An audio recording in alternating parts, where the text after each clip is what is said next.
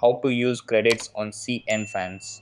Hey guys, in this video, I will show you how to use credits on CNFans. Alright, so let's begin with the video. So if you're wondering how to spend your credits on CNFans, what you need to do is that first of all, open the platform. When you make purchases, you'll accumulate credits and to put these credits to use, you first need to log into your account. Here you can see that I've already logged in. So once you have logged into your account, you're going to click on your profile over here and then you're going to click on my account. So once you do, you'll be redirected to your account. So what you got to do is over here at the left side, you'll be able to see a couple of options.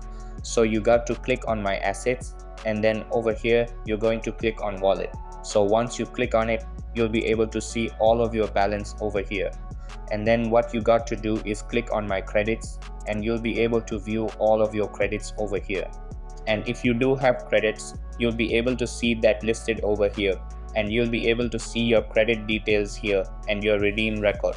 So now to redeem a product you can simply click on redeem products and this will open a text box where you can paste the link of the items you want to redeem obviously if you have credits so once you're on the redemption page, you could just enter the product link and if you have enough credits, you'll be able to claim it.